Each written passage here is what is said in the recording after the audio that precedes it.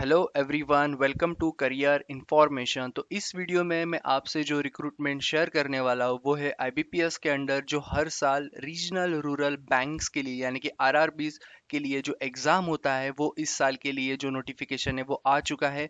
ये जो एग्ज़ाम है, ये चार पोस्ट मतलब ऑफ़िस असिस्टेंट मल्टीपर्पज़ उसके बाद में officer scale one scale two और स्केल थ्री इन रिक्रूटमेंट्स के लिए होता है, जो रीजनल रूरल बैंकिंग्स के लिए, यानी कि जो भी स्टेट्स में रीजनल रूरल बैंक होंगे, उसके लिए एग्ज़ाम होता है। ओके कितनी वैकेंसी है अप्लाई कैसे करना है, और क्या क्या डॉक्यूमेंट्स ज़रूरी है, सारी इन्फॉर्मेशन जो है मेन मेन इन्फॉर्मेशन मैं आपको आगे इस वीडियो में बताऊँगा। उससे पहले इसका जो फॉर्म फिलअप का डेट है, वो कल से, यानी कि सात जून से ऑलरेडी शुरू हो चुका है। तो ये जो डैशबोर्ड है, यहाँ पे तीनों पोस्ट के लिए अलग से लिंक दी है, तीनों, यानी कि चारों पोस्ट स्केल टू और स्केल थ्री के लिए। सेम लिंक है। और स्केल वन के लिए यहाँ से अप्लाई करना है और ऑफ़िस असिस्टेंट्स के लिए यहाँ पे आपको अप्लाई करना है। तो इस डैशबोर्ड का लिंक मैं आपको डिस्क्रिप्शन में दे दूँगा ताकि आपको जो भी पोस्ट को अप्लाई करना है सेपरेटली आपको नहीं दूँगा क्योंकि यहीं पे ऑलरेडी सारे लिंक है अवेलेबल और उसके बाद सेकंड लिंक जो मैं आपको, आपके साथ शेयर करूँगा वो है आपका मेन नोटिफिकेशन तो सबसे पहले हम चलते हैं मेन नोटिफिकेशन की ओर। तो यस ये है इसका मेन नोटिफिकेशन इसका भी लिंक मैं आपको लास्ट में शेयर कर दूँगा डिस्क्रिप्शन बॉक्स में। ओके तो ये जो एग्ज़ाम है ग्रुप बी ऑफ़िस असिस्टेंट का होता है और ग्रुप ए में जो आते हैं ऑफिसर्स यानी कि स्केल वन स्केल टू और स्केल थ्री सबसे पहले तो मैं आपको ये बता दूँ कि जिन भी बच्चों ने पहले एग्ज़ाम दिया होगा, उनको पता ही होगा ज़्यादा कुछ चेंजेस नहीं है। तो स्केल वन और जो ऑफ़िस असिस्टेंट है, उसके लिए प्रीलियम और मेन्स दोनों होता है। और जो आपका स्केल टू और स्केल थ्री होता है, वहाँ पे सिर्फ़ आपका एक एग्ज़ाम यानी कि मेंस एग्जामिनेशन होता है। ओके सेकंड चीज़, जो भी ये एग्ज़ाम्स होते हैं मोस्टली यहाँ पे इंटरव्यूज़ नहीं है। आगे मैं आपको बताऊँगा कैसे कैसे सिलेक्शन क्राइटेरिया है, वो भी मैं आपको बताऊँगा। तो पार्टिसिपेटिंग जो आर है, यानी कि आपके स्टेट के हिसाब से, आपके लोकल लैंग्वेज के हिसाब से आपको यहाँ पे चूज़ करना है।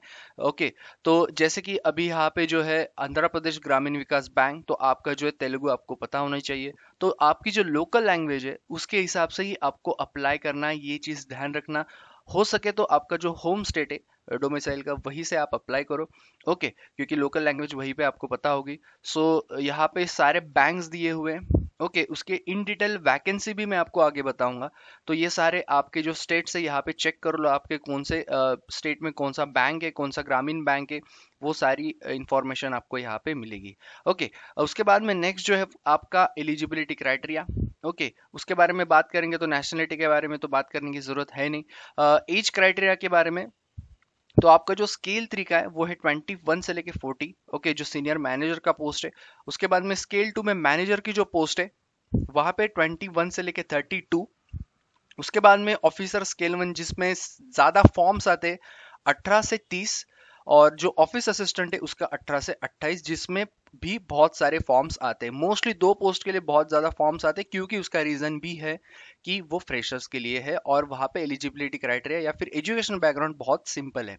ओके तो ये है आपका एज क्राइटेरिया अभी इसमें आप जो है रिलैक्सेशन ऐड कर सकते हो। अगर आप एस सी कैटेगरी से हो तो पाँच साल आपको रिलैक्सेशन मिलेगा as per government norms OBC के लिए तीन साल, वही सारे।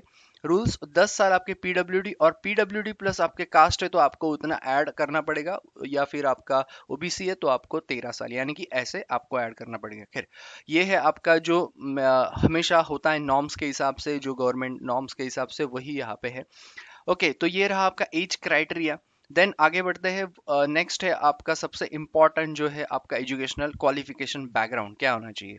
तो जैसे मैंने आपको बताया ऑफ़िस असिस्टेंट यानी कि मल्टीपर्पज की जो पोस्ट है, वहाँ पे bachelor degree in any discipline तो ग्रेजुएशन सिर्फ़ ज़रूरी है, और proficiency in local language as prescribe by the participant R R तो इसीलिए मैंने आपको बताया कि आपको लोकल लैंग्वेज पता होना अच्छा होना चाहिए प्रोफिशियंसली ओके ये चीज़ याद रखना, और कंप्यूटर का नॉलेज भी होना ज़रूरी है. बाकी एक्सपीरियंस नील यानी कि कोई ज़रूरत नहीं एक्सपीरियंस नहीं होगा तो भी। उसके बाद में ऑफिसर स्केल जो वन की पोस्ट है, यहाँ पे आपका bachelor degree in any discipline from recognize university or its equivalent preference will be given to the candidates having degree in agriculture horticulture forestry, animal husbandry.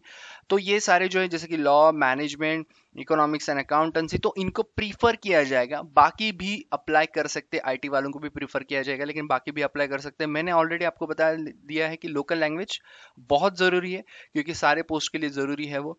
तो आप स्टेट से apply करोगे तो अच्छे से यहाँ पे देख के अप्लाई करना। बाकी बात करेंगे स्केल टू की। स्केल टू में बहुत सारे पोस्ट हैं, जैसे कि आपका है जनरल बैंकिंग ऑफिसर जिसमें आपका bachelor degree in any discipline बाकी यहाँ पे दिया है प्रेफरेंस अगेन इनको दिया जाएगा। उसमें आपका जो है दो साल का experience as an officer in an bank और या फिर कोई फाइनेंशियल इंस्टीट्यूशन में आपका होना ज़रूरी है। उसके बाद में बात करेंगे ऑफिसर स्केल टू जो है स्पेशलिस्ट ऑफिसर मैनेजर की जो पोस्ट है, उसके लिए बहुत सारे यहाँ पे स्ट्रीम है, जैसे कि आईटी ऑफिसर जिसमें आपका है रिकग्नाइज जो है यूनिवर्सिटी से आपका bachelor degree in electronics communication computer science IT में होना चाहिए। विथ 50 परसेंट ऑफ़ एग्रीगेट एक साल का आपका यहाँ पे एक्सपीरियंस जैसे मैंने आपको बताया स्केल टू के लिए और स्केल थ्री के लिए एक्सपीरियंस बहुत ज़रूरी है। उसके बाद में सीए का जो है चार्टर्ड अकाउंटेंट का, उसका भी एक साल का एक्सपीरियंस उसके बाद में लॉ ऑफिसर लॉ आपका डिग्री होगा, आपने किया होगा तो आपको दो साल एज एन एडवोकेट और should have work and law officer in bank ये भी चलेगा। ट्रेजरी मैनेजर का जो है वो एमबीए इन फाइनेंस या फिर सीए भी चलेगा। एक साल का रिलेवेंट एक्सपीरियंस ध्यान रखना। मार्केटिंग ऑफिसर का भी यहाँ पे MBA in marketing plus one year experience in relevant field agricultural officer का जो है, आपका जो है रिलेटेड टू हॉर्टिकल्चर या फिर फॉरेस्ट्री एग्रीकल्चरल इंजीनियरिंग भी चलेगा। तो इन सारे इसमें अगर आपका डिग्री है प्लस आपका दो साल का एक्सपीरियंस होना ज़रूरी है। स्केल थ्री की जो पोस्ट है, वो है सीनियर मैनेजर जहाँ पे bachelor degree in any discipline again preference will be given लेकिन यहाँ पे आपका पाँच साल का एक्सपीरियंस बैंकिंग या फिर फाइनेंशियल इंस्टीट्यूशन में होना चाहिए, तभी आप अप्लाई कर सकते हो। यानी कि दो जो पोस्ट है, पहले मैंने आपको बताया, जिसमें ज़्यादा फॉर्म्स आते हैं, क्योंकि बच्चे दोनों पोस्ट के भी अप्लाई करते हैं और आप अप्लाई कर सकते हैं मल्टीपल पोस्ट भी तो आप दोनों के लिए एलिजिबल हो। याद रखना, जहाँ पे एग्रीगेट बोला है, वहाँ पे एग्रीगेट उतना ही होना चाहिए। उससे अगर थोड़ा भी कम होगा पॉइंट में तो आप एलिजिबल नहीं हो वो पोस्ट के लिए। उसके बाद में फ़ीस के बारे में बात करेंगे। Officer scale one scale two and scale three तो उसके लिए फ़ीस जो है 175 seventy five S C S T and PW candidates वही बाकियों के लिए 850 है।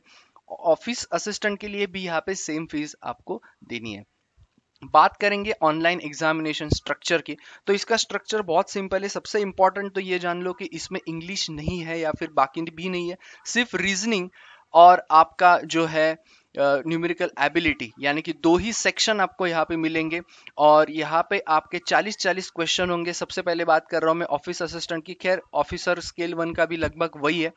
चालीस क्वेश्चन आपको यहाँ पे मिलेंगे, जो नंबर ऑफ़ क्वेश्चन चालीस मार्क्स के लिए रीजनिंग उसके बाद में एप्टी के लिए चालीस क्वेश्चन चालीस मार्क्स और टोटल आपके अस्सी मार्क्स का ये पेपर होगा। और ध्यान रखना, आपको सिर्फ़ फोर्टी फाइव मिनट्स मिलेंगे, एक घंटे से कम आपको यहाँ पे टाइम मिलेगा।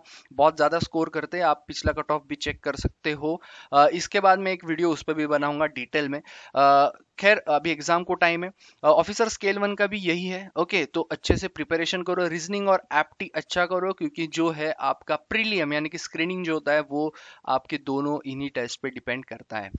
बात करेंगे अभी नेक्स्ट जो है आपका मेन एग्जामिनेशन यहाँ पे स्केल वन और ऑफ़िस असिस्टेंट का ही क्यों दिया है प्रीलियम क्योंकि आपको स्केल टू और स्केल थ्री के लिए सीधा आपको क्या करना है? मेन्स देना है। और एक चीज़ दोनों के लिए सेक्शनल कट ऑफ़ भी होता है, लेकिन मैं उतना मानूँगा नहीं क्योंकि आपको दोनों में स्कोर करना है, तभी आप अच्छे से इसमें मार्क्स ला पाओगे। ओके उसके बाद में बात करेंगे मेन एग्जामिनेशन की, जो है आपका ऑफ़िस असिस्टेंट का मल्टीपर्पज तो इसमें आपको लगभग है पाँच सेक्शन जिसमें पहला रीजनिंग है, चालीस क्वेश्चन फिफ्टी मार्क्स के लिए। याद रखना कॉम्पोजिट टाइम है यहाँ पे, कोई भी इसमें सेक्शनल टाइम आपको नहीं मिलेगा। दो घंटे का, उसमें आपको पूछा जाएगा रीजनिंग चालीस क्वेश्चन फिफ्टी मार्क्स जैसे बहुत मैंने बताया। कंप्यूटर नॉलेज का चालीस क्वेश्चन बीस मार्क्स यानी कि हाफ़ मार्क्स होगा आपको एक क्वेश्चन के लिए। General awareness 40 question 40 marks English का जो है 40 क्वेश्चन 40 मार्क्स हिंदी के लिए जो है, वो है 40 question 40 marks and numerical ability okay इसके लिए आपका 40 क्वेश्चन 50 मार्क्स अभी यहाँ पे अगर आप देखोगे 4 ए एंड 4 बी पे डॉट किया है उसका मतलब ये है कि आपको दोनों में से एक ही जो है वो सेक्शन करना है। ओके okay, वेदर आपको इंग्लिश करना है या फिर आपको हिंदी करना है दोनों नहीं करने। आपको एक ही ऑप्ट करना है तभी आपके 200 क्वेश्चंस होंगे। ओके स्केल वन के लिए भी जो है आपका पैटर्न वो है reasoning again 40 question and 50 marks computer knowledge भी उतना ही है जनरल अवेयरनेस भी अगेन यहाँ पे आपको दोनों यहाँ पे मिलेंगे और दोनों में से आपको एक चूज़ करना है एप्टी आपको 40 क्वेश्चन 50 मार्क्स बस इतना फ़र्क होता है कि जो ऑफ़िस असिस्टेंट यानी कि क्लरिकल लेवल का जो पोस्ट है, यहाँ पे आपको थोड़ा एग्ज़ाम पैटर्न सिंपल मिलेगा, इसमें थोड़ा आपको इससे थोड़ा सा थोड़ा ज़्यादा मतलब उतना भी नहीं, थोड़ा सा फ़र्क होता है ऑफिसर स्केल वन का, ज़्यादा नहीं। ओके। तो ये है आपका मेंस का। उसके बाद में list of yes version of test जो है आपका इंग्लिश हिंदी या फिर मीडियम तो यहाँ पे दिया हुआ है। इसलिए मैं आपको बताया लोकल लैंग्वेज आपका ज़रूरी भी है। uh, अभी हम बात करेंगे सिंगल लेवल एग्जामिनेशन यानी कि जो मैं स्केल टू की बात कर रहा था। जनरल बैंकिंग ऑफिसर का मैं बता दूँ रीजनिंग आपको कंप्यूटर नॉलेज फाइनेंस अवेयरनेस यहाँ पे है 40 क्वेश्चन 40 मार्क्स बाकी सब सेम है। ओके okay, और यहाँ पे भी आपको एक ऑप्ट करना है और 200 मार्क्स का 200 इसका क्वेश्चन 200 क्वेश्चन 200 मार्क्स दो घंटे का पेपर रहेगा। स्पेशलाइज कैडर के लिए भी जो है स्केल टू का यहाँ पे आपको जो uh, होता है एड ऑन वो होता है प्रोफेशनल नॉलेज तो ये जो uh, है टोटल 240 क्वेश्चंस आपको होंगे और 200 ही मार्क्स होंगे क्योंकि यहाँ पे जो हिंदी या इंग्लिश आप चूज़ करोगे वो 40 में से आपको मतलब बीसी मार्क्स है यानी कि हाफ़ हाफ़ मार्क्स आपको मिलेगा और कंप्यूटर नॉलेज भी वैसा ही है इसलिए यहाँ पे आपको एक सेक्शन ज़्यादा है। स्केल uh, थ्री का जो सिंगल एग्जामिनेशन है उसके बारे में भी सेम है यहाँ पे। फाइनेंशियल अवेयरनेस है बस एड ऑन और उसके जगह पे बाकी आपका सेम है। ओके कट ऑफ़ स्कोर तो खैर मैंने आपको बता दिया है कि डिपेंड uh, करता है नंबर ऑफ़ वैकेंसीज कितनी है और कितने लोगों ने स्कोर uh, किया है कैसा स्कोर किया है उस पर भी डिपेंड करता है। उसके बारे में हम जब एग्ज़ाम होगा तब बात करेंगे। प्रीवियस ईयर का क्या था कैसा करना है वो सारी चीज़ें मैं आपको आगे बताऊँगा। खैर अभी जो इंपॉर्टेंट चीज़ है मैं आपको बता दूँ। ओके मेंस का भी मैंने बता दिया। उसके बाद में प्री एग्जामिनेशन ट्रेनिंग भी ले सकते हैं जो कैटेगरीज के अंडर है वो ऑनलाइन होता है मोस्टली अभी uh, या ऑफलाइन भी शुरू हो सक हो सकता है तो आप वहाँ पे यस नो क्लिक कर सकते हो जब आप फॉर्म फिलअप करोगे। फॉर्म में क्या क्या लगेगा वो भी मैं आपको आगे बताऊँगा। मैंने जैसे आपको बताया कि depend on vacancies merit list वगैरह जनरेट होता है क्योंकि इसमें जो इंटरव्यूज़ नहीं है तो ये भी ज़रूरी है और डॉक्यूमेंट वेरिफिकेशन वगैरह आपको ज़रूरी है। उसके बाद में क्या क्या लेके जाना है आपको, ये सारी चीज़ें हैं आईडी कार्ड आईडी कार्ड का जेरोक्स वगैरह आपको लेके जाना है एग्ज़ाम टाइम पे। अभी सबसे इंपॉर्टेंट जो आता है आपका how to apply how to apply वाला पहला लिंक तो मैंने आपसे ऑलरेडी शेयर कर, कर दिया है जो भी पोस्ट को आप अप्लाई करना है। लेकिन क्या क्या चीज़ें आपको चाहिए जो भी बच्चे बैंकिंग में ऑलरेडी अप्लाई कर चुके हैं चार चीज़ें आपको ज़रूरी है। सबसे पहले तो photograph signature left thumb and hand written ये चारों चीज़ें बहुत से बच्चों की ऑलरेडी रेडी होगी। या फिर जो पहली बार फॉर्म फिलअप कर रहे हैं उनके लिए ज़रूरी है photograph sign left thumb and hand written याद रखना हैंड रिटर्न नोट जो है वो ये है आए उसके बाद आपका नाम एंड आपको ये black pen black ink pen से ही लिखो, सही रहेगा। और उसको स्कैन करो। ओके कैपिटल लेटर्स या वगैरह में नहीं लिखना है, आपको रनिंग हैंड राइटिंग में ही लिखना है। सिग्नेचर भी याद रखना ब्लैक इंक वही ज़रूरी है। और कैपिटल लेटर्स में साइन भी नहीं होना चाहिए। ओके तो ये सारी चीज़ें स्कैन करवा के आप ऑलरेडी रख दो। उसका साइज़ क्या चाहिए, वो भी मैं आपको आगे बताऊँगा कि साइज़ क्या क्या होना चाहिए। चारों चारों के लिए। मोड ऑफ़ पेमेंट जो है आप ऑनलाइन कर सकते हो, जो भी यूपीआई वगैरह बहुत सारे ऑप्शन है अभी, उससे आप अप्लाई कर सकते हो। उसका भी आपको रिसिप्ट मिलेगा, वो आप सेव करके रख सकते हो। यस कॉल लेटर्स वगैरह आपको जब मिलेंगे, मैं आपको बता दूँगा। यहाँ पे एक टेंटेटिव जो है आईबीपीएस हमेशा अनाउंस कर देता है, और टेंटेटिव ही इनका फिक्स होता है मोस्ट ऑफ़ द टाइम सिर्फ़ कोविड के टाइम पे थोड़ा बहुत हुआ था। सो ऑनलाइन मैंने जैसे मैंने आपको बताया, सात मतलब कल से शुरू हो चुका है जून से और 20 दिन 20 इक्कीस दिन आपको दिए 27 जून तक आप अप्लाई करो। प्री एग्ज़ाम ट्रेनिंग जो ऑप्ट करेंगे कैटेगरीज उनको 9 तारीख को जो आपका कॉल लेटर मिलेगा प्री एग्ज़ाम को। प्री एग्ज़ाम ट्रेनिंग के लिए और 18 से 23 के बीच में वो होगा। यहाँ पे इसलिए लिखा हुआ है in case if it is possible safe to hold PET तो ये सारा पैंडेमिक वगैरह की वजह से अभी उन्होंने यहाँ पे लिखा है। अगर कुछ प्रॉब्लम रहा तो। आ, बाद में बात करेंगे जो प्रीलियम के आपके जो एडमिट कार्ड्स है वो आ जाएँगे आपके जुलाई अगस्त ओके जुलाई अगस्त में आपका जो है वो आ जाएगा जुलाई एंडिंग में ही आ जाएगा। अगस्त में ये एग्ज़ाम होगा। आपको पता है ये बहुत सारे शिफ्ट में ये एग्ज़ाम होता है दो दो वीक ये एग्ज़ाम चलता है क्योंकि सैटरडे संडे होता है। रिज़ल्ट जो इसका तुरंत आ जाता है और सितंबर में आ जाएगा। उसके बाद में मेंस का जो आपका, तभी सितंबर में ही आपका कॉल लेटर आ जाएगा।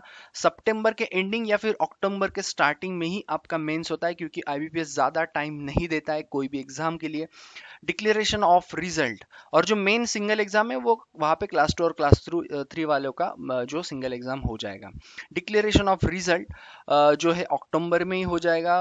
कॉल लेटर फॉर इंटरव्यू यानी कि स्केल वन स्केल टू और स्केल थ्री के लिए जो इंटरव्यूज़ होंगे, उसके लिए अक्टूबर नवंबर अभी मैंने आपको बताया इंटरव्यूज़ नहीं है तो ऑफ़िस असिस्टेंट यानी कि आपका जो है क्लर्क की जो है मल्टीपर्पज की जो पोजिशन है, वहाँ पर आपका इंटरव्यू नहीं होगा, वहाँ पे सीधा आपका क्या होगा प्रोविजनल अलॉटमेंट होगा लास्ट में। ओके okay, इसलिए यहाँ पे ऑफ़िस असिस्टेंट को कोई इंटरव्यूज़ यहाँ पे लिखे हुए नहीं है लेकिन स्केल वन स्केल टू और स्केल थ्री के लिए इंटरव्यूज़ आपको देने वैसे ही आईबीपीएस क्लर्क का भी हुआ था क्लर्क के लिए कोई भी इंटरव्यू नहीं लेकिन आईबीपीएस पीओ के लिए इंटरव्यूज़ है एसओ के लिए इंटरव्यूज़ है। तो वैसे ही यहाँ पे स्केल वन स्केल टू और स्केल थ्री के लिए इंटरव्यूज़ है। तो बहुत से बच्चे पूछ रहे थे कि ऑफ़िस असिस्टेंट या फिर इनके लिए है या नहीं तो सिर्फ़ स्केल वन स्केल टू और स्केल थ्री के लिए इंटरव्यूज़ यहाँ पे है। जब आपके वो इंटरव्यूज़ खत्म हो जाएँगे उसके बाद ही ऑफ़िस असिस्टेंट का भी अलॉटमेंट आएगा साथ ही में। तो जनवरी में आपका अलॉटमेंट हो जाएगा। थैंकफुली आपको कोई बैंक मिल जाएगी। अभी है सबसे इंपॉर्टेंट ओवरऑल मैं सबसे पहले आपको बता दूँ ऑफ़िस असिस्टेंट ओवरऑल मतलब पूरे इंडिया की बात करूँगा तो ऑफ़िस असिस्टेंट की जो वैकेंसीज है टोटल वो है 4400 के ऊपर वैकेंसीज है टोटल ओके और ऑफिसर स्केल वन की जो है वो 2600 के ऊपर वैकेंसी है लगभग मतलब 2700 तक वैकेंसी और पूरी जो निकली है नोटिफिकेशन में वो है एट वन ज़ीरो ज़ीरो के करीब vacancies scale one scale two scale three और ऑफ़िस असिस्टेंट की। तो ये ओवरऑल मैंने बताया। अभी ये जो है आपका वैकेंसीज यहाँ पे इन डिटेल दिए ऑफ़िस असिस्टेंट बैंक के हिसाब से यहाँ पे वैकेंसीज दिए हुए हैं। वेरी हो सकता है लास्ट ईयर के हिसाब से। और एक चीज़ मैं आपको बता दूँ कि जहाँ पे एनआर लिखा हुआ है नॉन रिपोर्टेड वो आपका मेंस के तक या फिर उसके आगे भी ऐड हो सकता है जैसे कि यहाँ पे कुछ बैंकिंग है गुजरात के है बहुत सारे होते हैं उड़ीसा के है उसके बाद में पौंडीचेरी के है। तो ये, ये बैंक जो है यहाँ पे नॉन रिपोर्टेड है या फिर ऐसा भी होता है कोई बैंक और ऐड करता है तो वैकेंसीज जो है ये इंक्रीज ही होती है। मैं आपको ये सबसे पहले बता दूँ तो नॉन रिपोर्टेड हो गए तो ऐसा मत सोचो कि मैं फॉर्म नहीं भरूँगा बहुत से बच्चों का ऐसा होता है या फिर कम वैकेंसीज है तो। आ, वैसे ऑफ़िस असिस्टेंट की अच्छी खासी वैकेंसी जैसे मैंने आपको बताया चार हज़ार चार सौ के ऊपर। खैर उस पर टाइम वेस्ट नहीं करेंगे। सो so, यहाँ पे है आपके स्टेट के हिसाब से जहाँ पे आप अप्लाई कर सकते हो यानी कि अगर आप आंध्र प्रदेश से हो तो आप तीन बैंक को यहाँ पे अप्लाई कर सकते हो। यानी तीन बैंक्स के लिए आपका कंसिडरेशन होगा।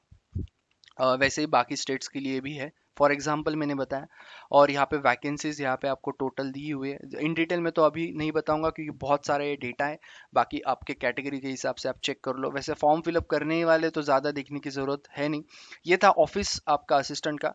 आ, उसके बाद में बात करेंगे जो है ऑफिसर स्केल वन Uh, उसके लिए भी यहाँ पे स्टेट के हिसाब से वही बैंक्स के अंडर जो वैकेंसीज है। uh, जैसे मैंने आपको बताया 2600 तक वैकेंसी 2650 के ऊपर वैकेंसी है। स्केल टू का भी यहाँ पे दिया है। स्केल टू, स्केल थ्री में जो है वैकेंसीज थोड़ा कम होते हैं थोड़ा मतलब लगभग ज़्यादा कम ही होते हैं क्योंकि उसमें कंपटीशन भी कम होता है और ज़्यादा पोस्ट भी नहीं निकलते हैं क्योंकि बहुत कम पोस्ट होते हैं हर बैंक में। तो इसका रीज़न है। बाकी आप वो पोस्ट के लिए भी अप्लाई करना है तो आप देख सकते हो सीए वगैरह सारे के लिए यहाँ पे दिया हुआ है। एनआर तो बहुत जगह पे तो वो रिपोर्ट हो जाएगा लास्ट में आपको आ जाएगा। ओके एग्जामिनेशन सेंटर्स वही है जो आईबीपीएस हमेशा करता है। प्रीलियम्स के लिए ज़्यादा होते हैं और मेन्स के लिए कुछ दो चार ही होते हैं हर स्टेट में। तो वही यहाँ पे भी है कंटिन्यू ज़्यादा मेरे ख्याल से उसमें बताने की ज़रूरत नहीं। फोटोग्राफ का मैंने जो आपको बताया था आपको बता दूँ। इसका जो है 20 से 50 के बी के अंडर होना चाहिए ये चीज़ याद रखना। आ, बात करेंगे साइन की तो 10 से 20 के बी के अंडर। याद रखना जेपीजे फॉर्मेट में हो तो सही है। आ, उसके बाद में आपका जो नेक्स्ट है वो आपका लेफ़्ट थम 20 से 50 के बी और 50 से 100 के बी के अंडर आपका हैंड रिटर्न। ओके ये होना चाहिए। बाकी तो खैर मैंने आपको सारी चीज़ें दी वो मैंने बता दी है जो जो इम्पोर्टेंट है। ओके सो अगर आपको कोई क्वेरी तो आप पूछ सकते हो कमेंट बॉक्स में। दो चीज़ें आपसे मैंने शेयर की है डिस्क्रिप्शन बॉक्स में। पहला तो है आपका ये नोटिफिकेशन और उसके साथ साथ ये जो लिंक्स है एक डैशबोर्ड का उसका पूरा लिंक आपको मैंने शेयर कर दिया। वहाँ से आप तीनों पोस्ट मोस्टली जो है ऑफिसर स्केल वन या फिर ऑफ़िस असिस्टेंट वाले जो कॉमन होते हैं फॉर्म फिलअप करने के तो आप दोनों के लिंक आपको यहाँ पे मिल जाएँगे। सो so, दोनों चीज़ें मैंने आपको दी है। बाकी और एक चीज़ आप यहाँ पे स्कैन भी कर सकते हो अगर आपको वेबसाइट को विज़िट करना है। बाकी जो है आपको बहुत सारे रिक्रूटमेंट्स ये चैनल पे हर दिन मिलते रहेंगे। सो सब्सक्राइब लाइक शेयर करना मत भूलना। एंड थैंक यू ऑल कोई अगर आपको प्रॉब्लम है तो कमेंट में पूछ सकते हो जवाब मिल जाएगा। प्रीवियस कट टॉप्स का एक वीडियो मैं आपको आगे बताऊँगा कि अगस्त में एग्ज़ाम है थोड़ा टाइम है। जुलाई वगैरह में आपको इन डिटेल में लास्ट ईयर का कितनी वैकेंसीज थी क्या कट ऑफ़ था सारी इंफॉर्मेशन आपको इन डिटेल बताऊँगा। सो so, प्रैक्टिस करो मैक्सिमम क्योंकि स्कोर ज़्यादा हाई होता है पेपर सिंपल थोड़ा बहुत होता ही है। So thank you all all the best and will see you in next time